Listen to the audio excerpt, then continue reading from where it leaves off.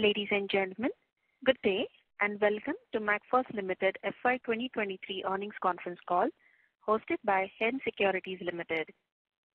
As a reminder, all participant lines will be in listen-only mode, and there will be an opportunity for you to ask questions after the presentation concludes. Should you need assistance during the conference call, please signal an operator by pressing star then zero on your touchtone phone. Please note that this conference is being recorded. I now hand the conference over to Ms. Aastha Jain, Senior Research Analyst from Hem Securities Limited. Thank you, and over to you. Thank you, Yashaswi. Good afternoon, ladies and gentlemen. Thank you for joining Macfos Limited FY 2023 earnings conference call. Joining us on call today are the senior members of the management team, Mr. Atul Dumbre, Chairman and Managing Director, and Mr. Vinod Prasad, Whole-time Director and Chief Financial Officer, Macfos Limited. We will commence the call with the opening thoughts from the management team, post which we will open the forum for Q&A session, where the management will be glad to respond to any queries that you may have. At this point, I would like to add that some of the statements made in today's earnings calls will be forward-looking in nature. Such forward-looking statements are subject to risks and uncertainties that may cause actual results to differ from anticipated outcomes. Now, I hand over the call to Mr. Atul Dumbre, Chairman and Managing Director of company, for opening remarks, post which we will have the Q&A session. Over to you, sir. Thank you. Good afternoon, everyone. Thank you for being with us today at this event. Uh, I'm Atul Dumbre. I'm Chairman and MD of Macfos Limited. Uh, present along with me from our side today is Mr. Vinod Prasad, who is CFO, and Mr. Nilesh Chauhan, who is a full-time Director. So, on behalf of our company, Macfos Limited, a warm welcome to everyone on this conference call of declaration of earnings for H2 FY 2023, which is the year ended 31st March 2023. Let me start a brief business overview, and then I'll hand it over to Mr. Vinod Prasad, who is Promoter and CFO for financials part. And after that, we'll be more than happy to take all your questions and suggestions. We are pleased to report a revenue of 80.80 crore and PAT of 7.41 crore for FY 2023. That is revenue of 80.80 crore and PAT of 7.41 crore. This is inconsistent with our growth so far, and which is translated to three-year CAGR of turnover of uh, 71%, EBITDA of 108%, and PAT level of 191%. This all achievement is despite of the challenges posed by a volatile global environment, which uh, includes fears of war, also fears of recession, and also supply chain disruptions that we have seen over last year. And I believe that our business fundamentals are robust and strong, positioning us on trajectory of sustainable growth. Last year presented its fair share of challenges, I must say, uh, primarily revolving around supply chain issues. In fact, there are two things I would like to highlight uh, related to supply chain. Firstly, there were widespread uh, widespread shortages about semiconductor products. You all must have heard about those shortages going around over the globe. And secondly, the supply chain was inconsistent. That means that when we require the material, sometimes the sea uh, freight shipment, for the sea freight shipment or the air freight shipment, it was not available at the right time. There were delays due to that inconsistency. Now this resulted into availability and high prices of the products, which impacted both us and our customers. However, to respond these sticky situations, Uh, like there are two things that we have to respond. One is the shortages or lower availability of material, and second is pricing. So in, response to shortages, what we have done is prioritize our sales to our corporate customers because we know the, that these people are into some production activities and also these corporate customers are generally high value per order customers for us. So we have prioritized those customers during the time of shortages. And as you can see in the numbers, this has resulted into higher number of corporate orders for us during last year. And we believe that uh, this focus on corporate customers last year will help us uh, in coming time to grow even higher. Secondly, there was an issue of pricing because of the shortages and intermittent supply, the prices were going, you know, up and down, mostly up. What we have done is we have absorbed some of the price jump into our margins and passed some of the prices to the customers. This was also strategic decision driven by that the shortages and prices jumps are short term, but the customers are long run. So we wanted to protect and support our customers during these tough times. And both of these initiatives or strategic decisions, I feel will help us in longer run. Talking about the products, we are doing sustained investment and focus on building categories of development board and drone segment for last three, four years. And this has yielded in remarkable growth for us during FY23. We anticipate that the seeds that we sown uh, in these sectors for last three, four years will give us fruits even in coming times for near future.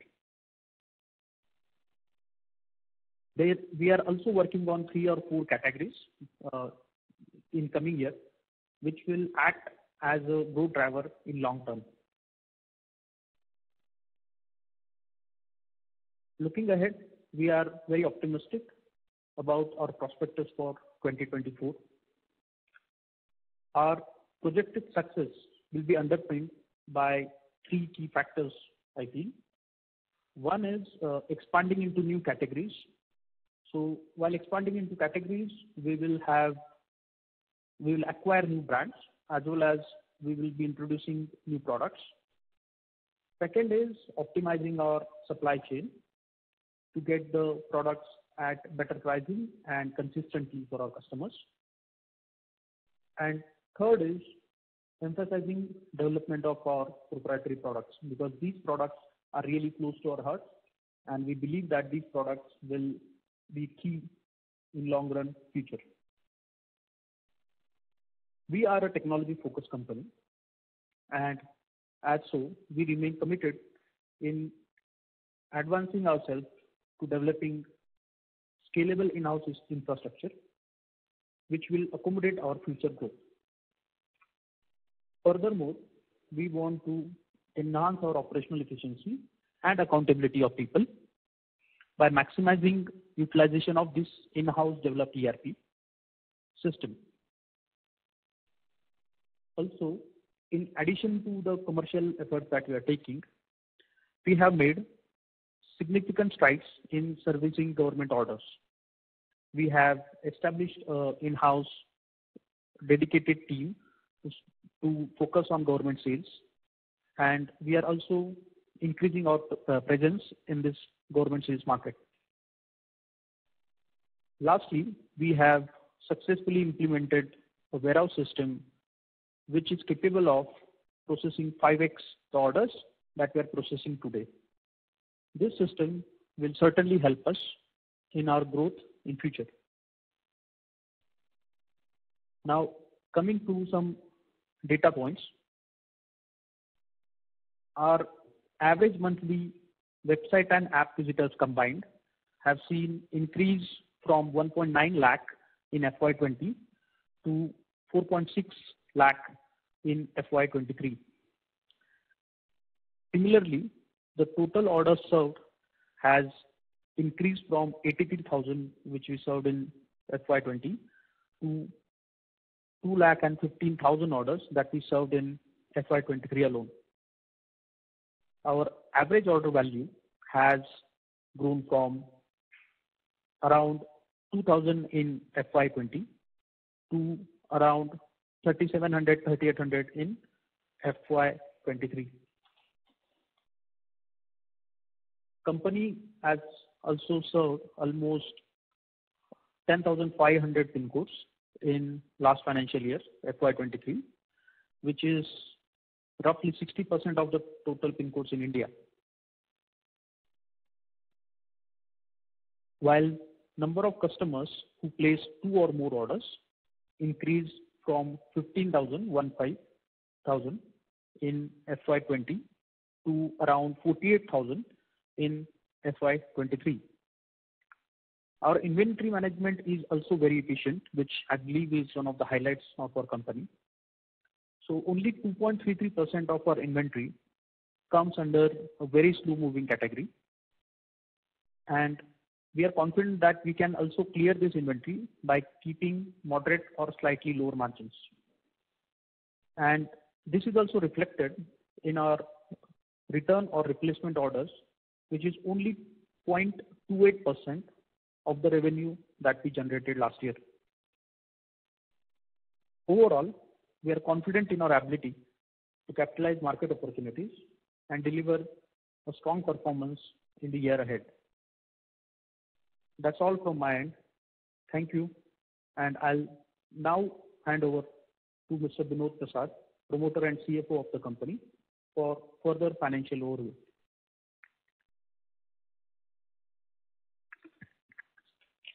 Good evening, everyone. Uh, in financial year 2023, we have achieved total revenue of 80.8 crore, uh, with EBITDA margin of uh, 11.35 crore and PAT of 7.41 crore, which is roughly 14% and 9.2% respectively.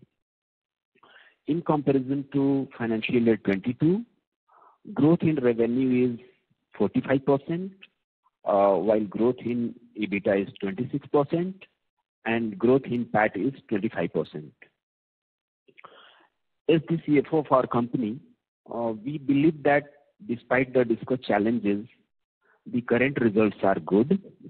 However, we acknowledge that there is still room for improvement, particularly in terms of our top line and gross profit. And we are continuously working on strengthening these areas. When it comes to our expenses, we have been performing well, I'll say, by keeping them in check and optimizing them continuously, which has become a kind of habit for a company like us, which is a bootstrap company. If we examine our expenses, uh, we can see that they have not increased as stiffly as our revenue. So while our revenue has grown by 45%, some expenses have only increased by, say, 10%, 20%, or 25% only. This indicates that uh, we have the potential to leverage our PAT uh, better in the future. As a company, we place constant focus on both present and future growth, which is reflected in our diverse workforces, consisting of individual who contributes to the present as well as the future. So if you check on our uh, HR expenses, I mean, uh, related to salaries and all, it's, I mean, in sync with what uh, the growth in business is 45%, so it's roughly 45%-50%. I mean, it's higher with respect to financial year 2022. Our interest expense for the last year amounted to rupees 84 lakh rupees, which is primarily due to some previous loans with higher interest rates. However, these loans will be fully paid off within the next 12 months as per their normal tenure. Year-over-year, our financials ratios, such as current ratio, debt-to-equity ratio, have shown improvement. In fact, we have managed to achieve last year's revenue without taking on any additional debt for operational activities. So overall, we are confident and ready to achieve our financial and planned forecasted growth. So that's all from my end. Thank you. Uh, over to Yashaswi. Yashaswi, you can uh, move ahead with Q&A. Thank you very much, sir. We will now begin the question and answer session. Anyone who wishes to ask a question may press star and one on their touchtone telephone. If you wish to remove yourself from the question queue, you may press star and two. Participants are requested to use handsets while asking a question. Ladies and gentlemen, we will wait for a moment while the question queue assembles.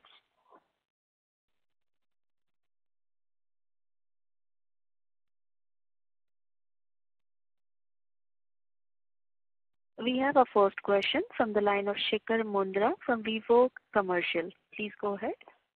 Uh, hi, sir. Uh, I want to know the split between uh, the B2C business and the B2B business in terms of revenue and individual margins in each segment.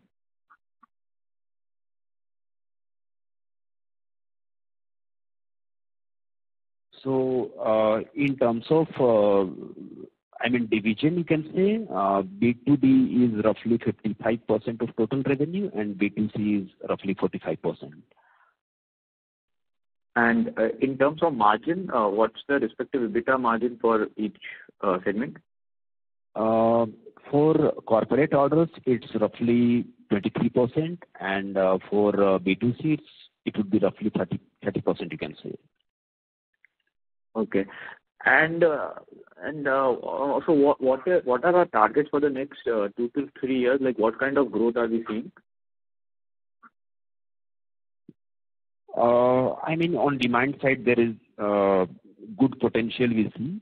So I mean, what we have planned, I mean, we should be able to achieve that. And and how much are you targeting revenue, I mean, in terms of growth in revenues? I mean, it will be in same line uh, of, I mean, what we are uh, continue to do. So it will be in the same line. It uh, won't be right to disclose the number, but yes. All right. And I want to understand about the competitive intensity, like who are our major competitors in this space and what and what would you say is our share and, like, how big is the industry? Something on that. Uh, I mean, there is no competitor in the listed space at least. But yes, of course, there are uh, uh, some competitors. Uh but I mean, they are not internet first companies. I mean, they are conventional kind of company who runs with their conventional like salesperson and all. So their, you know, reach is kind of limited. So yes, you can say there are companies with similar nature of activities, but uh, their way of operation is very different than what we do. Okay. And and I want to understand, like, what are our total ad spends, uh, or marketing spends?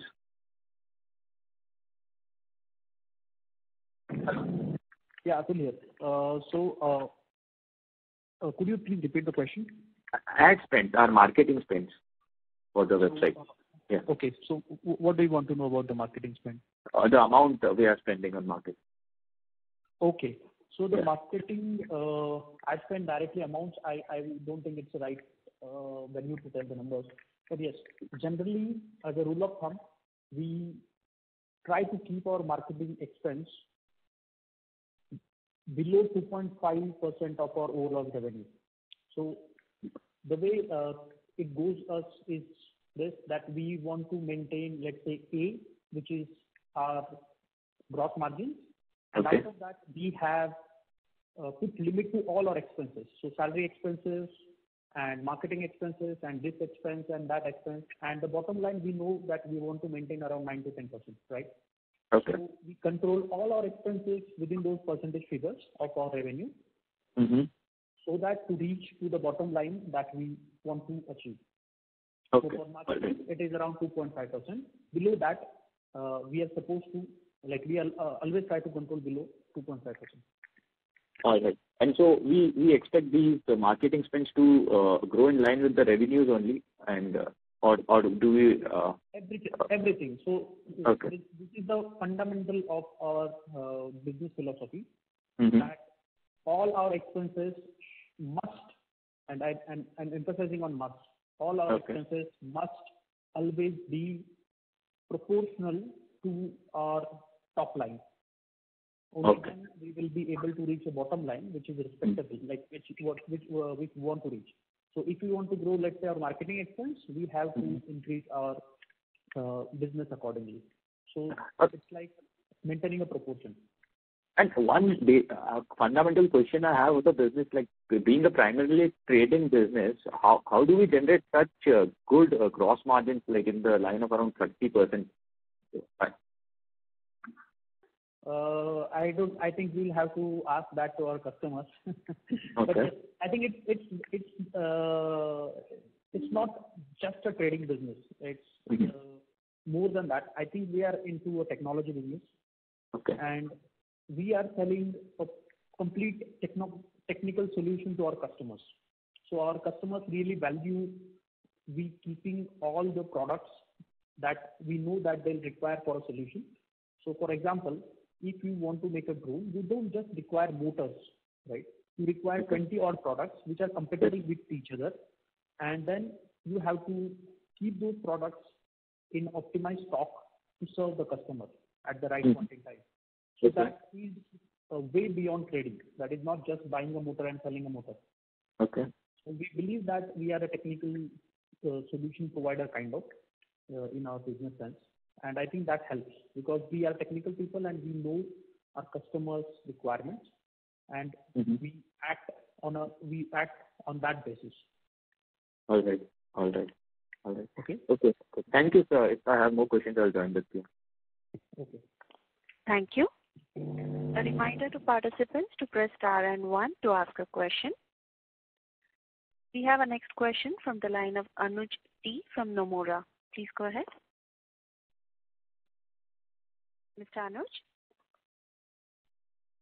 Please ask your question. We have unmuted your line.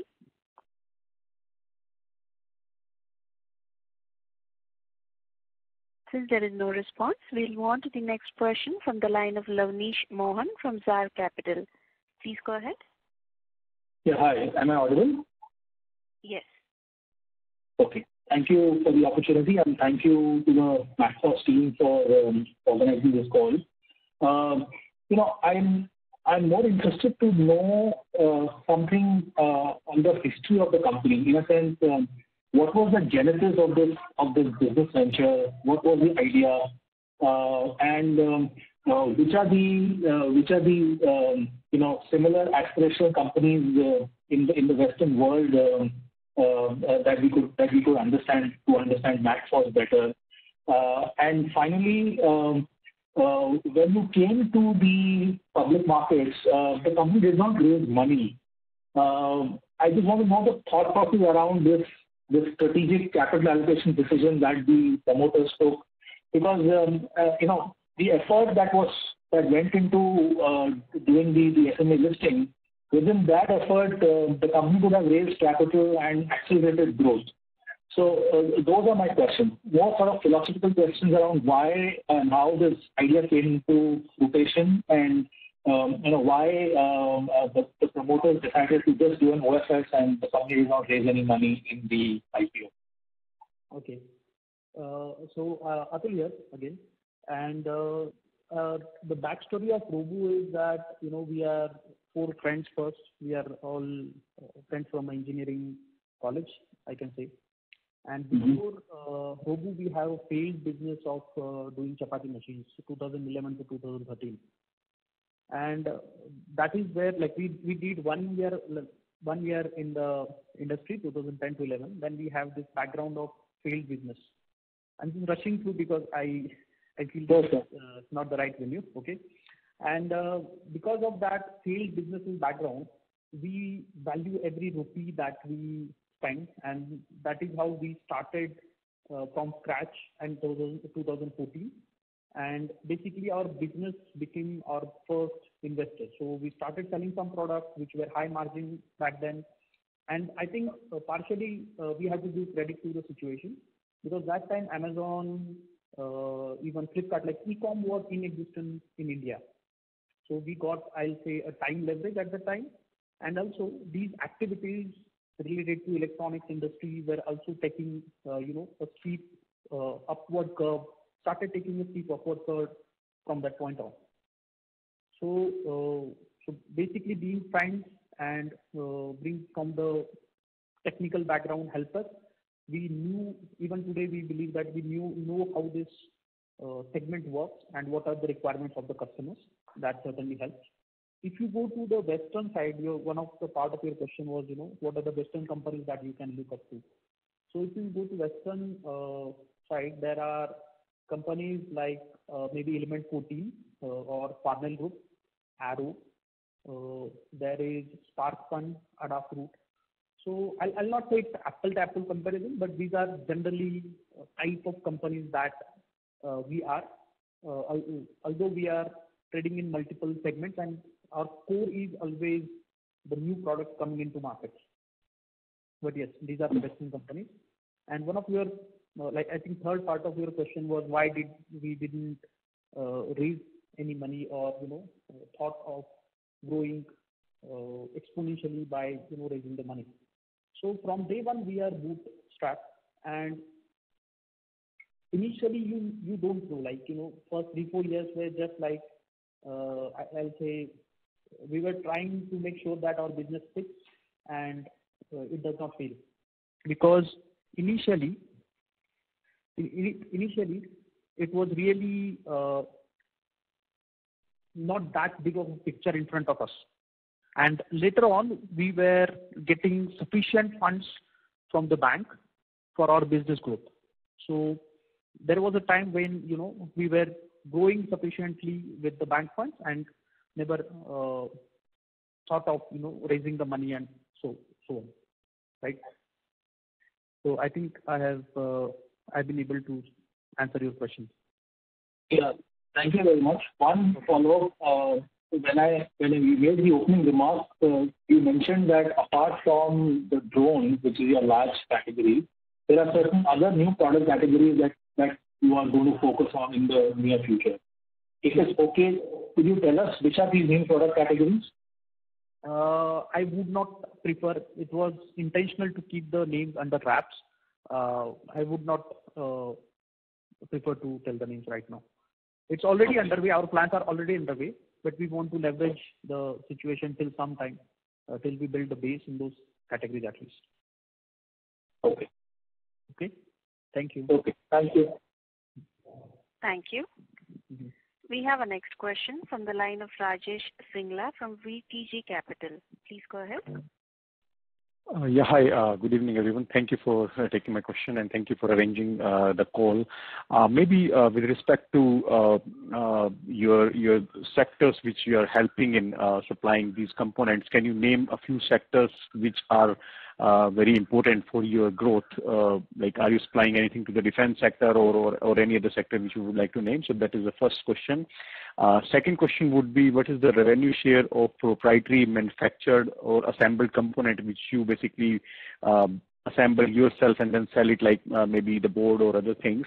And The third question would be on revenue growth and margin improvement in FY 2024, as I believe that now we are seeing substantial improvement in supply chain, can we expect your EBITDA margin to come back to FY 2022 levels? And uh, On the revenue growth part, you said that you will be able to maintain uh, the historical level of growth, uh, so which was 70%. So, Are you comfortable in achieving 70% of revenue growth in FY 2024? Thank you.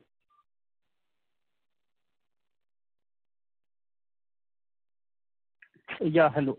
Atul here again. So. Yeah I think it is a club of two, three questions. So First you asked about the sectors that we are bullish in.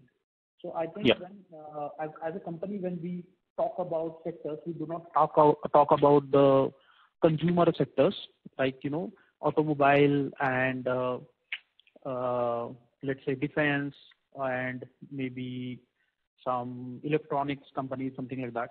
We focus on our product segment. That is, by the strategy of company, we focus on product segment.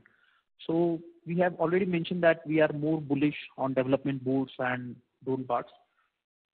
And also we see the uh, business of IoT machine learning, like the wireless stuff, that is uh, going to be a good growing uh, sector for us in coming few years.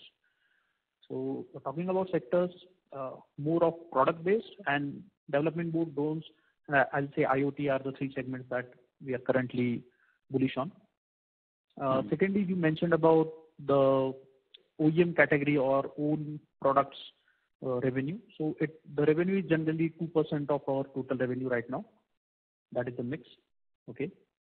And third, you mentioned about being the supply chain issue getting back to normalcy, uh, what numbers we will be able to achieve. Uh, however, I uh, I don't think I'll be able to talk in terms of numbers on this call. What I can say is that with supply chain easing out or eased out to almost normalcy, we believe that it will uh, fuel our overall growth, and we we are hopeful to see uh, good numbers in 2024.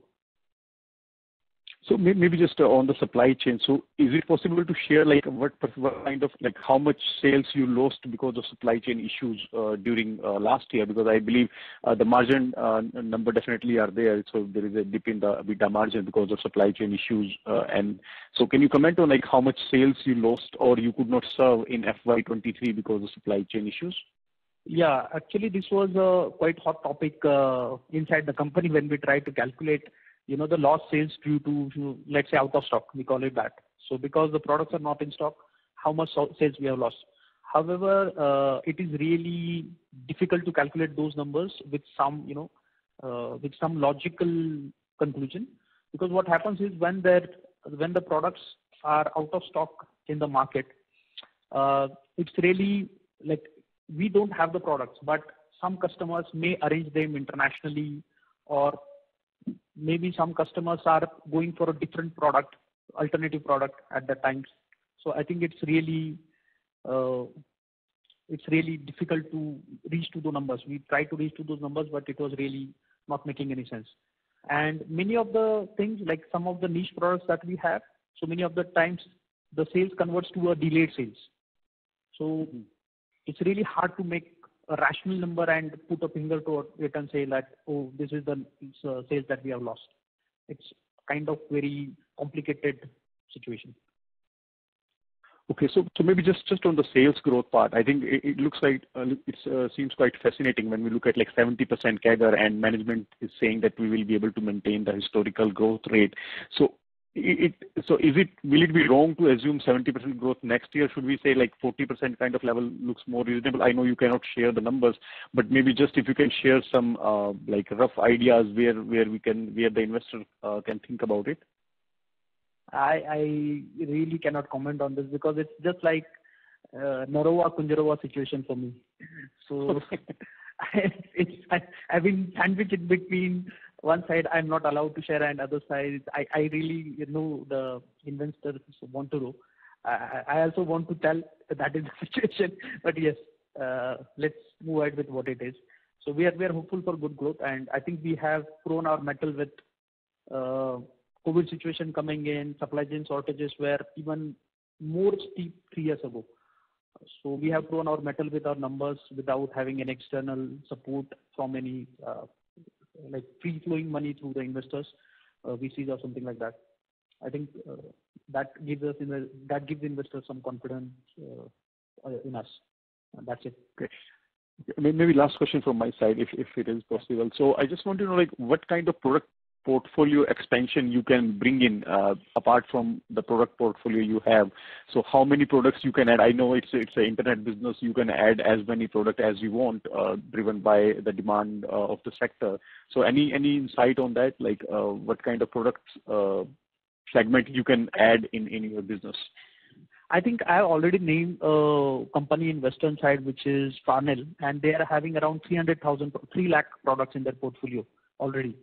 So I think uh, we have enough headroom, uh, like if we see in the future, we have enough headroom for at least, you know, uh, short-term future, and short-term is like roughly five years for me. So we have good headroom to even add the new products.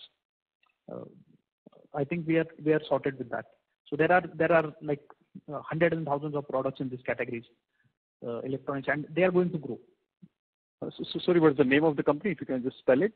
Farnell, F-A-R-N-E-L-L. Okay. Farnell. It's a U.K.-based group. Yeah. Sorry, just one more question. Sorry, I just uh, came across one more question. Basically, in terms of the supply chain, so how much of your sourcing is based out of China, and how much is based out of India? So, uh, I think 90% of our uh, sourcing is based outside India. That number I have roughly in my mind. Okay? Now, percentage in China, I'm not sure, but yes, I'll say one thing, that it is uh, a lot. And many a times, because China has become manufacturing capital of the world, so many a times it is like a company situated, let's say, in uh, U.K. However, we are uh, they are manufacturing in China, and we are importing products from China. So many of our companies have that situation in place, where the principal is situated in some other country, but since it's economical to manufacture and distribute over the world, so uh, manufacturing is happening in China. Okay. So so your your vendor, your suppliers are based out of, say, U.K. or or Europe, but they supply their material from from China? Yeah, because it's economical to produce in China, and why to do it two times, to get them to U.K. and then again to other countries? Mm, right. I'll not say all of the suppliers, but yet that that that is the complicated situation that we have. So principal design product in some other country, and it is getting shipped out of China. Okay, sure. So so your direct sourcing is not from China, so you place order with the customers sitting in- I'm not saying I'm not saying our direct sourcing is not from China. For some company it is. The companies are situated in China. For some mm-hmm. companies, it's a mix, where companies not situated in China, but we are still getting material out of China. Okay. I'll be very frank with you, like, if this question ultimately is directed towards dependency on China, so I'll be very frank with you. Uh, the whole world is. Yeah. Yeah, no, definitely. I think everyone is dependent on China. So you can't uh, single out one company that uh, it is dependent- Yeah. It's more dependent on China. Yeah, no, it's okay. I think electronics are, the global electronics is all dependent on China, so even iPhone and all these things- Because of pricing. That's, that's the whole thing. Pricing and the manufacturing boom we saw in China. Yeah. So it's okay. Yeah. I think it's fine. Yeah. Okay. Okay. Thank you. Thank you very much.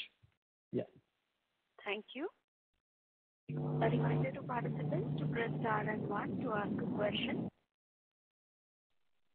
We have our next question from the line of Kiran B. Chedda from Chedda Investment Consultancy. Please go ahead. Hello. Uh, so you just mentioned that uh, you have started supplying to the government. Now, what do you mean by government? Is it the government uh, projects, government departments, government companies, or what? Hello? Hello. Yeah. Yeah. So, mainly we are targeting government R&D labs right now. Okay. Okay? And we are directly we are targeting supply directly to the government uh, agencies. Okay? So, uh, how to put it? Uh, so the so the there are R&D labs, government labs like BEL, DRDO, and all other institutes. So we there are educational institutes like IITs, Uh, where a lot of research is happening, right? So government is a big umbrella, and we are trying to get our products across by forming a separate team and reaching to the government agencies, trying to like... It's the usual cycle for us, where we always want our products to enter into some research or prototyping cycle. And we are pretty sure that, you know, uh, down the line, when the when the research or proto converts to a product, then uh, our product will move along the line. Okay. What percentage of your revenue would be government in the last year? Uh, just give me a second.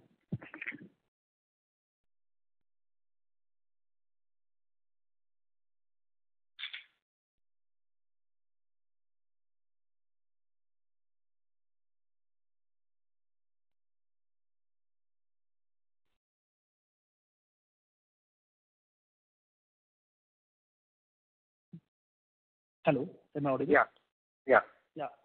Uh, we are not very sure on this number right now, but uh, it is somewhere around 7%-8%. 7%-8%. All right. And sir, how does this thing, I mean, do these entities uh, log on to your website and order, or do you approach them Uh, with some products which they might be needing, or how does it work? Yeah. So the government purchasing works through two things. Like for smaller things, most of the government agencies are going through GeM portal right now. And for uh, higher value purchases, it's always that they float the tenders.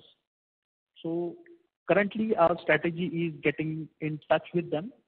And Uh, because of smaller orders, already, we have already interacted with them for smaller orders. So we are now getting in touch with them uh, and trying to get these tenders for higher value orders. So we are currently trying to convert the uh, smaller orders that we receive into the high-value orders. Also, there are different portals. Like different government agencies have have different portals. So we are trying to get registered on those portals and hence increase our presence uh, in the government-related uh, ordering.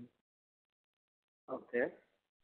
And so what are the basics? Uh, registering on portals, getting in touch, handling smaller orders. Now we mm-hmm. are gunning like we are trying to get into the bigger orders stage. Okay. And generally, what are the payment terms, sir?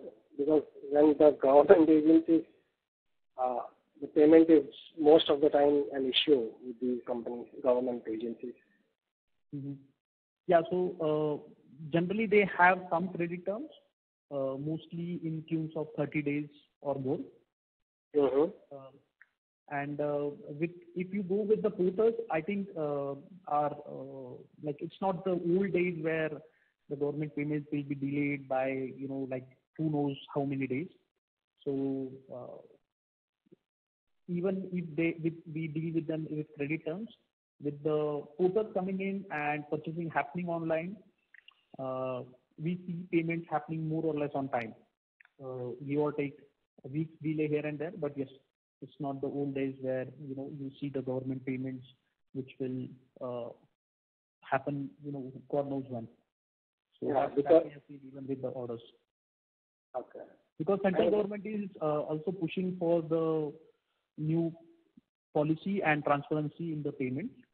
So mm-hmm. it's almost like that uh, the government agencies who purchase the material is only responsible for purchasing. And once they approve that they have received the material, uh, payments are handled by another agency uh, within the noted credit like once the noted credit period is over. So it's it's pretty straightforward at this point in time. Uh, uh, my only fear is that because we are seeing an N number of companies uh, that you know, this becomes an issue. And we being a very small company, hmm. you know, we need to be extra cautious on this. Yeah. So since we are doing 7%-8% of the sales, I'll tell you this. We, as on today, we do not have any government defaulter who has debunked the payment for us. So I think we have a, I'll say, very small experience. But yes, so far, so good experience. Yeah. That's good to hear. All right, sir. Thank you so much. Okay. Thank you. Ladies and gentlemen, in order that management is able to answer queries from all participants, please restrict your questions to two at a time. You may join back the queue for follow-up questions. We have a next question from the line of Pranay Gandhi from Green Portfolio. Please go ahead. Hi. Good evening, sir. Uh, sir, I just wanted to touch back on the government order part. Uh, sorry, my call got dropped. I just wanted to know from you what is the outlook. And I happen to hear that the current proportion was 7%-8%. Are we anticipating any growth, or uh, are we targeting any sort of growth in this department? Hey, Pranay. Atul here. Could you repeat your question, please? Yeah. I was just uh, trying to get more information on the government orders. Um, at uh, during the last year, it was 7%-8%, right? Are we uh, targeting any growth in that number, or we would want to remain around that number as well? So the government orders you are saying, right? Yeah. In terms of promotion to our total revenue. Okay, I'm still not getting your question. So your question is for uh, government orders or corporate customers? Uh, government orders. Government orders. Okay. And last year we have done 7%-8%. That's what we have said. Okay. So you're asking that whether we want. Yes, we are bullish on government orders because uh, currently our government order situation is we have a large number of orders with small order value that we believe there is a lot of potential in that segment, and we would like to further check the possibility of, you know, exploring that segment and uh, from our sides see how it goes. Uh, any uh, expectation or number that you can share for FY 2024 that you are targeting?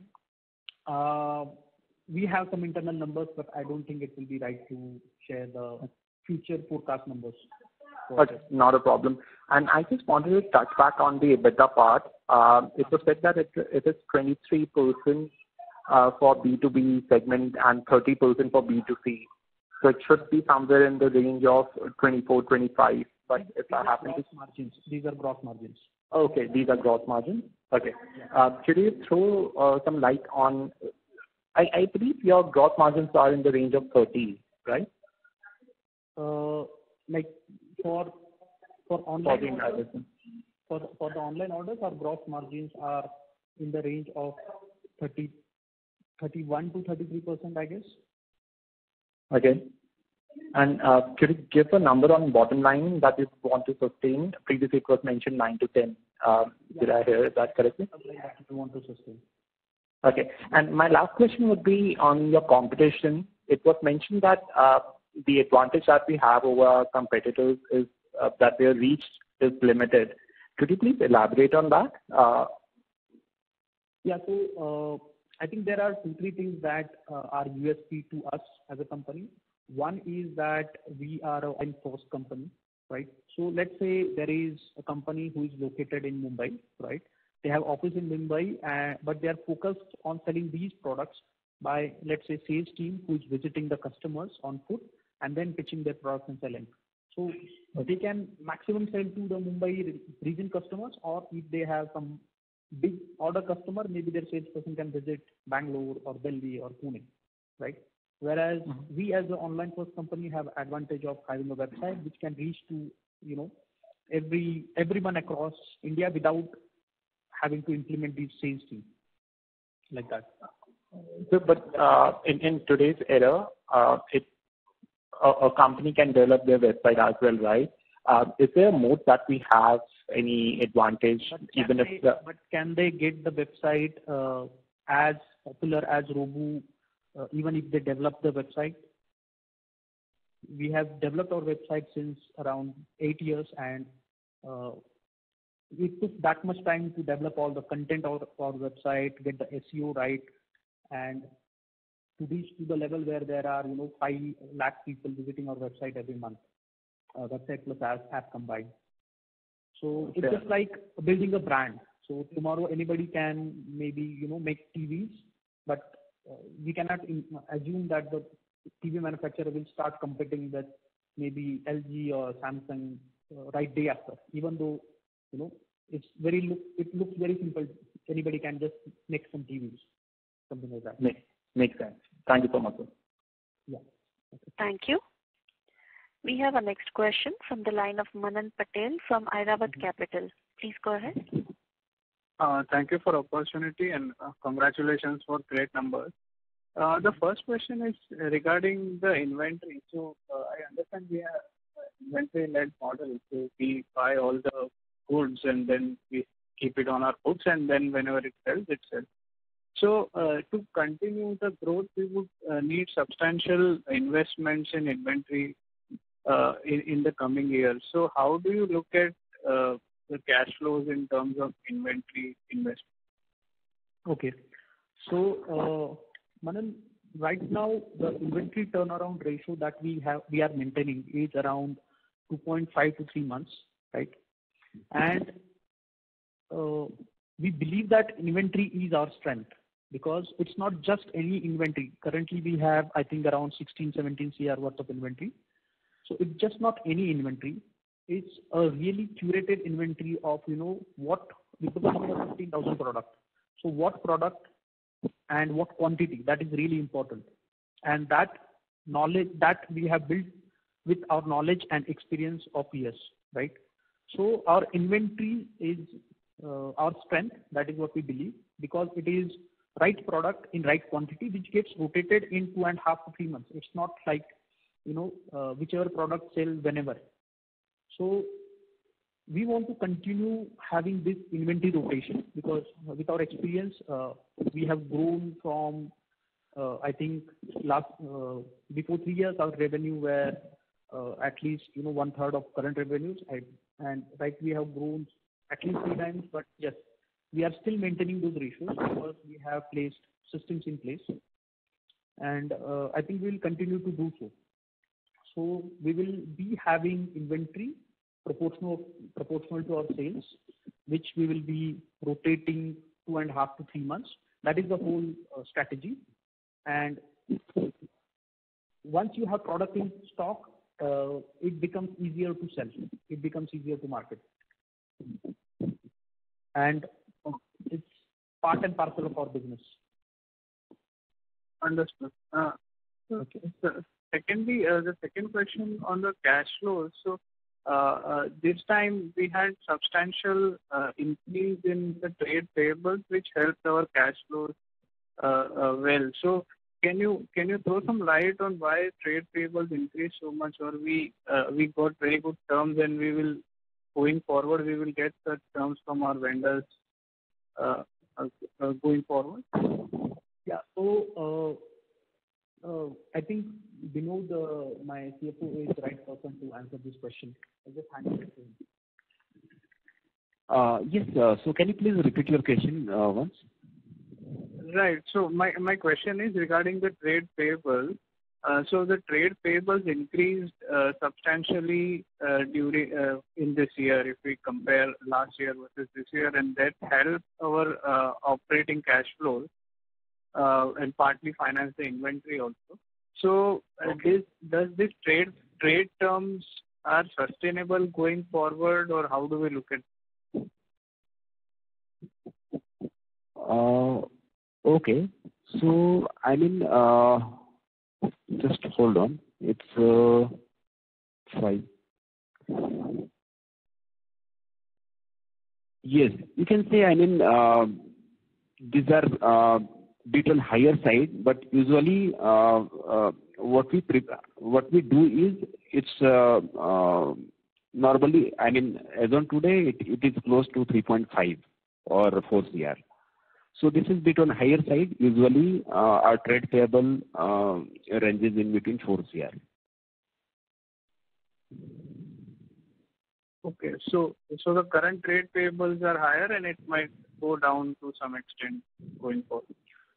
Yes. I mean, uh, if if you see our current scenario, it's way less than this. It would be close to 4 CR. Understood. And sir, in terms of you uh, uh, very well explained uh, the inventory model. So uh if we are on a high growth path, do you think we would need to raise substantial funding from banks or maybe equity going forward a few years down the line? Yes. I mean, that situation depends on how much growth you are, I mean, Uh, targeting. So if you are targeting, say, 5x growth, obviously you'll be needing a lot of funds. So, our, uh, you know, future forecast and uh, growth are such that we should be able to maintain the whole thing with our own cash flows, internal accruals, and with, of course, with our bank bank limit that we have. Understood, sir. Thanks a lot and wish you all the best. Thank you. Thank you. Thank you. Ladies Any questions? Uh, that was the last question for today, sir. I would now like to hand the conference over to Ms. Aashita Jain from Hem Securities Limited. Please go ahead. Thank you. On behalf of Hem Securities Limited, I thank Macfos Limited team for listening patiently and responding all the queries in such a detailed way. I would also like to thank all the participants for joining this call. Now, I would like to hand it over to moderator. On behalf of Hem Securities Limited, that concludes this conference. Thank you for joining us, and you may now disconnect your lines.